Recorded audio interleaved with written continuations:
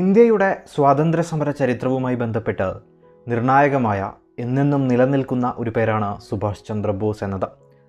ഇന്ത്യയിലെ മനുഷ്യർ സ്വാതന്ത്ര്യം എന്ന അടിസ്ഥാന ആശയം പോലുമില്ലാതെ അടിമകളെ പോലെ കഴിഞ്ഞിരുന്നപ്പോൾ നിങ്ങൾ എനിക്ക് രക്തം തരുക ഞാൻ നിങ്ങൾക്ക് സ്വാതന്ത്ര്യം തരാം എന്ന നിശ്ചയദാർഢ്യത്തോടെ ലോകത്തോട് വിളിച്ചു പറഞ്ഞ ധീരദേശാഭിമാനിയായിരുന്നു സുഭാഷ് ചന്ദ്രബോസ്. സുഭാഷ് ചന്ദ്രബോസിന്റെ ജീവിതം പോലെ തന്നെ അദ്ദേഹത്തിന്റെ അപ്രതീക്ഷിത മരണവും എന്നും വാർത്തകളിൽ നിറഞ്ഞുകൊണ്ടേയിരുന്നു. അതുകൊണ്ട് തന്നെ ഈ വീഡിയോയിലൂടെ നേതാജിയെക്കുറിച്ചും അദ്ദേഹത്തിന്റെ മരണത്തെക്കുറിച്ചുമാണ് പരിചയപ്പെടുത്തുന്നത്. ആയിരത്തി എണ്ണൂറ്റി തൊണ്ണൂറ്റിയേഴ് ജനുവരി ഇരുപത്തിമൂന്നിന് ഒറീസയിലെ കട്ടക് നഗരത്തിലാണ് സുഭാഷ് ചന്ദ്രബോസ് ജനിച്ചത്. അച്ഛൻ ജാനകിനാഥ ബോസ് അമ്മ പ്രഭാവതി ദേവി. അച്ഛൻ അറിയപ്പെടുന്ന ഒരു അഭിഭാഷകനായിരുന്നു. അതുകൊണ്ട് തന്നെ സുഭാഷിന്റെ കുട്ടിക്കാലമൊക്കെ കഷ്ടതകൾ അറിയാത്ത ഒന്നായിരുന്നു. സ്നേഹപൂർവം എല്ലാവരും ആ ബാലനെ വിളിച്ചതാകട്ടെ സുബുബി എന്നുമായിരുന്നു. ചെറുപ്പകാലത്ത് തന്നെ മനുഷ്യസ്നേഹവും ദേശഭക്തിയുമൊക്കെ സുഭാഷ് ചന്ദ്രബോസ് പ്രകടിപ്പിച്ചിരുന്നു. കട്ടക്കിലെ തന്നെ പ്രൊട്ടസ്റ്റന്റ് യൂറോപ്യൻ സ്കൂളിലാണ് സുഭാഷ് ചന്ദ്രബോസ് വിദ്യാഭ്യാസം ആരംഭിക്കുന്നത്. എന്നാൽ അവിടെ യൂറോപ്യൻ കുട്ടികൾക്ക് കിട്ടുന്ന പ്രത്യേക പരിഗണന അദ്ദേഹത്തിൽ സമത്വം എവിടെയെന്ന ചോദ്യമുയർത്തി. ആയിരത്തി തൊള്ളായിരത്തി പതിമൂന്നിൽ മെട്രിക്കുലേഷൻ പരീക്ഷ പാസ്സായ സുഭാഷ് ചന്ദ്രബോസ് കൽക്കത്ത പ്രസിഡൻസി കോളേജിൽ ഉപരിപഠനത്തിന് പോവുകയുണ്ടായി.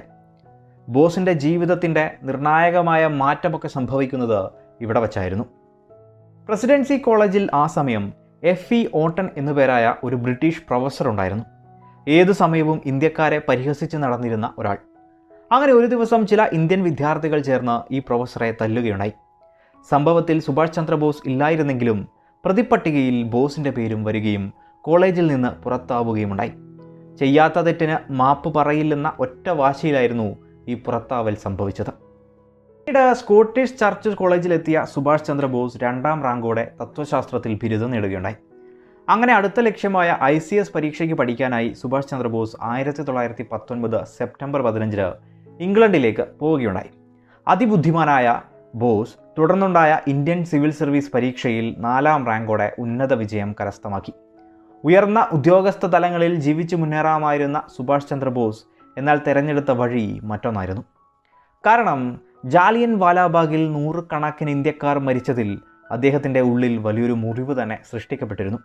ഒപ്പം അതിന് നേതൃത്വം കൊടുത്ത ജനറൽ ഡയറിനെ ബ്രിട്ടീഷുകാർ പരസ്യമായി അഭിനന്ദിക്കുന്ന കാഴ്ച അദ്ദേഹത്തിൽ വിപ്ലവത്തിന്റെ തീജ്വാലയും സൃഷ്ടിക്കുകയുണ്ടായി.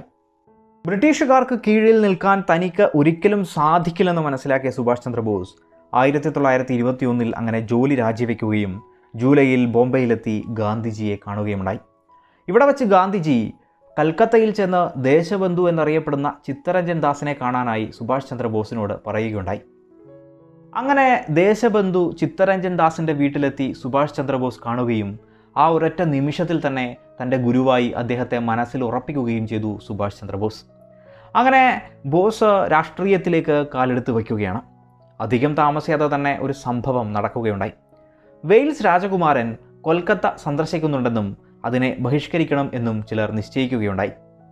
അതിന്റെ ഭാഗമായി പ്രതിഷേധ യോഗങ്ങളും ഹർത്താലുമൊക്കെ ആചരിക്കുകയുണ്ടായി. അതിനുവേണ്ടിയുള്ള റാലികളിൽ പങ്കെടുത്തതിന് സി ആർ ദാസിനെയും സുഭാഷ് ചന്ദ്രബോസിനെയും ഒക്കെ അറസ്റ്റ് ചെയ്തു. അങ്ങനെ സുഭാഷ് ചന്ദ്രബോസ് തന്റെ ആദ്യത്തെ തടവ് ശിക്ഷ അന്ന് അനുഭവിക്കുകയുണ്ടായി. ആറു മാസമായിരുന്നു അന്ന് ശിക്ഷ കിട്ടിയത്. പിന്നീട് അങ്ങോട്ട് പോരാട്ടങ്ങളുടെ തുടക്കം കൂടിയായിരുന്നു. ആ കാലത്ത് ബംഗാളിൽ സൃഷ്ടിക്കപ്പെട്ട എല്ലാ പ്രശ്നങ്ങളിലും നിറഞ്ഞു നിന്ന് പ്രവർത്തിച്ചതുകൊണ്ട് തന്നെ സുഭാഷ് ചന്ദ്രബോസ് അതിവേഗം ജനകീയനായി തീർന്നു.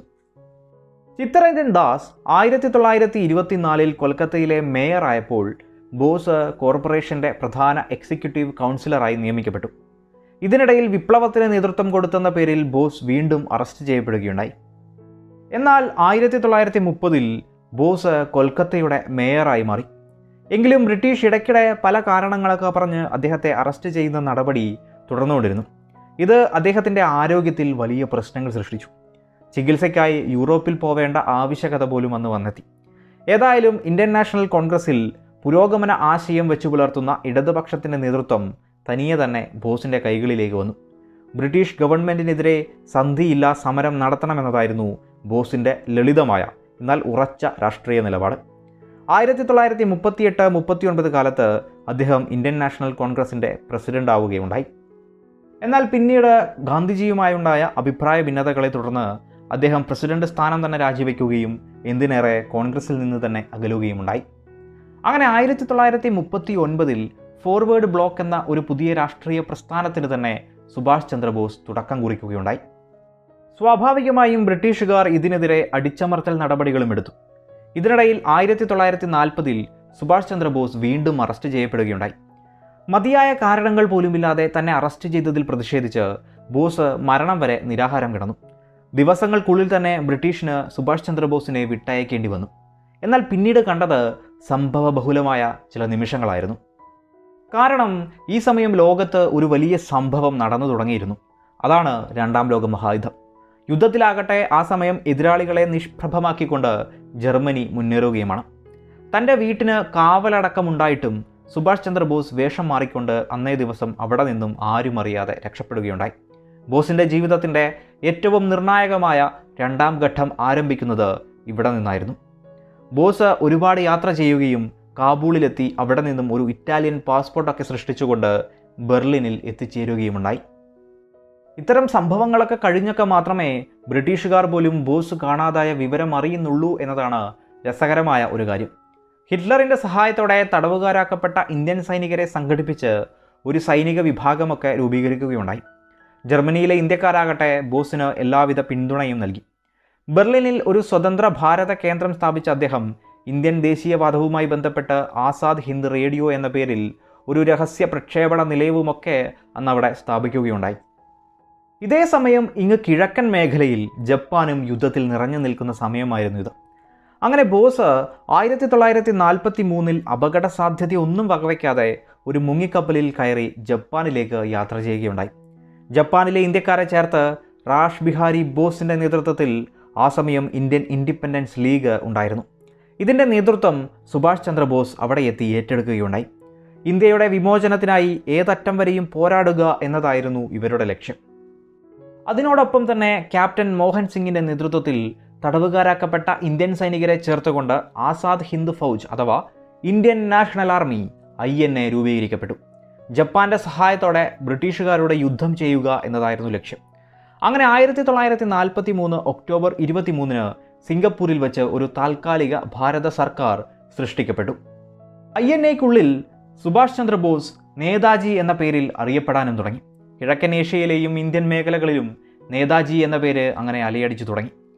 Subhash Chandrabose I N A റെജിമെന്റുകൾക്ക് Gandhi brigade Nehru brigade Azad brigade Subhash brigade എന്നിങ്ങനെയായിരുന്നു പേര് നൽകിയത്. അങ്ങനെ ബ്രിട്ടനിൽ നിന്നും ഇന്ത്യയെ മോചിപ്പിക്കുക എന്ന ലക്ഷ്യവുമായി ഐ എൻ എ മുന്നോട്ട് നീങ്ങി. അവരുടെ വഴിയിൽ ആൻഡമാൻ നിക്കോബാർ ഐലൻഡ്സ് ആദ്യം പിടിച്ചെടുത്തു. പിന്നീട് മ്യാൻമറിലേക്ക്. മ്യാൻമറിലെ റംഗൂൺ നഗരം പിടിച്ചെടുത്ത് ഐ എൻ എയുടെ ഹെഡ് ഓഫീസ് അവിടെ സ്ഥാപിച്ചു. തുടർന്ന് ഇന്ത്യൻ മണ്ണിലേക്ക് പടനീക്കം ആയിരത്തി തൊള്ളായിരത്തി നാൽപ്പത്തിനാല് ജനുവരിയിൽ മ്യാൻമറിലെത്തിയെങ്കിൽ ഐ എൻ എ പട അതിവേഗം സഞ്ചരിച്ച് ആയിരത്തി തൊള്ളായിരത്തി നാൽപ്പത്തിനാല് മാർച്ച് പതിനെട്ടിന് ഐ എൻ എ ജപ്പാൻ സംയുക്ത സേന ഇന്ത്യൻ മണ്ണിൽ പ്രവേശിക്കുകയുണ്ടായി. എന്നാൽ ആ കാലത്ത് ഉണ്ടായ മഴ സൈനിക നീക്കങ്ങൾക്ക് വലിയ തിരിച്ചടിയായി മാറി. പല നീക്കങ്ങളും പരാജയപ്പെടുകയും ബ്രിട്ടീഷുകാർ കനത്ത രീതിയിൽ തന്നെ തിരിച്ചാക്രമിക്കുകയുണ്ടായി ഭക്ഷണവും വെടിക്കോപ്പുകളും പോലുമില്ലാതെ സൈനികർ ഈ മേഖലയിൽ കഷ്ടപ്പെടേണ്ടി വന്നു. ബ്രിട്ടീഷ് സൈന്യം പല മേഖലകളും അതോടെ തിരിച്ചു പിടിക്കുകയുണ്ടായി. സ്വാഭാവികമായും ഇന്ത്യൻ നാഷണൽ ആർമിക്ക് പിന്മാറേണ്ട അവസ്ഥയൊക്കെ അവിടെ സൃഷ്ടിക്കപ്പെട്ടു. പല സൈനികരും അറസ്റ്റ് ചെയ്യപ്പെടുകയുമുണ്ടായി. ഇതിനിടെ ആയിരത്തി തൊള്ളായിരത്തി നാൽപ്പത്തിയഞ്ച് ഓഗസ്റ്റ് ആറിന് ജപ്പാനിലെ ഹിരോഷിമയിലും ആഗസ്റ്റ് ഒൻപതിന് നാഗാസാക്കിയിലും അമേരിക്ക അണുബോംബിട്ടതോടെ ജപ്പാന്റെ പരാജയം പൂർണമായി. ജപ്പാന് കീഴടങ്ങേണ്ട അവസ്ഥ അവിടെ വന്നെത്തി. ഐ എൻ എ സൈനികർക്കും അങ്ങനെ തന്നെ. ഇതിനിടയിൽ കീഴടങ്ങൾ സംബന്ധിച്ച് ജപ്പാൻ അധികൃതരുമായി ചർച്ച ചെയ്യാൻ ആയിരത്തി തൊള്ളായിരത്തി നാൽപ്പത്തിയഞ്ച് ഓഗസ്റ്റ് പതിനാറിന് നേതാജി സിംഗപ്പൂരിൽ നിന്നും ടോക്കിയോയിലേക്ക് യാത്ര ചെയ്യുകയുണ്ടായി. മിറ്റ്സുബുഷിയുടെ K I twenty eight bomber വിമാനത്തിൽ ജനറലായിരുന്ന ഷിഡേക്കൊപ്പമായിരുന്നു അദ്ദേഹത്തിന്റെ യാത്ര. യാത്രാമധ്യേ ഓഗസ്റ്റ് പതിനെട്ടിന് തായ്വാനിലെ തെയ്ഹോക്ക് വിമാനത്താവളത്തിൽ വെച്ച് പറന്നുയരുന്നതിനിടയിൽ വിമാനത്തിന് തീപിടിക്കുകയും വിമാനം ക്രാഷ് ലാൻഡിംഗ് ആവുകയുമുണ്ടായി. ചീഫ് പൈലറ്റ് കോ പൈലറ്റ് ജനറലായിരുന്ന ഷിഡേ തുടങ്ങിയവരൊക്കെ തൽക്ഷണം മരിക്കുകയുണ്ടായി. തേർഡ് ഡിഗ്രി ബേണിംഗ് ഉണ്ടായിരുന്ന സുഭാഷ് ചന്ദ്രബോസിനെ ഉടൻ തന്നെ തെയ്ഹോക്കിനടുത്തുള്ള നാൻമൻ മിലിറ്ററി ഹോസ്പിറ്റലിലേക്ക് എത്തിക്കുകയുണ്ടായി. ചീഫ് സർജനായി ഉണ്ടായിരുന്ന ഡോക്ടർ തനയോഷി യോഷിമിയുടെയും ഒപ്പം ഡോക്ടർ ട്രുറുത ഡോക്ടർ ഇഷി എന്നിവരുടെയും ഒക്കെ കൂടെ ഒട്ടേറെ മെഡിക്കൽ സഹായികളുടെയും ഒക്കെ നേതൃത്വത്തിൽ ഏതാണ്ട് ആറു മണിക്കൂറോളം പരിശ്രമിച്ചെങ്കിലും ബോസിന്റെ ജീവൻ രക്ഷിക്കാനായില്ല.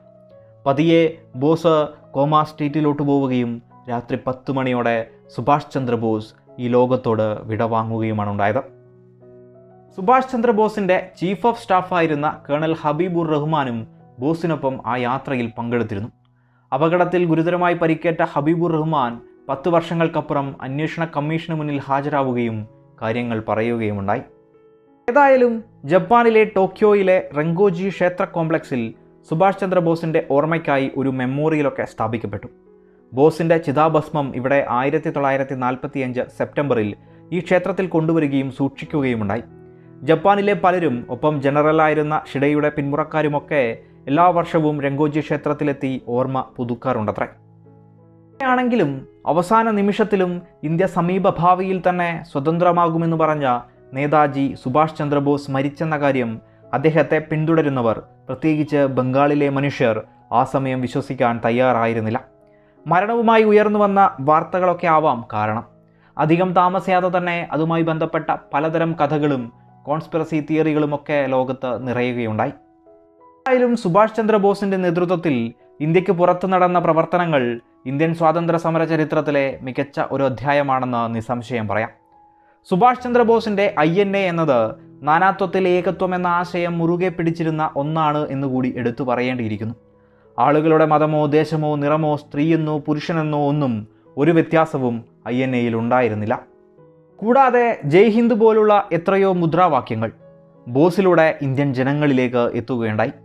അതുപോലെ തന്നെ ജനമനസ്സുകളിൽ സുഭാഷ് ചന്ദ്രബോസ് എന്ന പേരും ചരിത്രവും എന്നെന്നും നിലനിൽക്കുന്നു.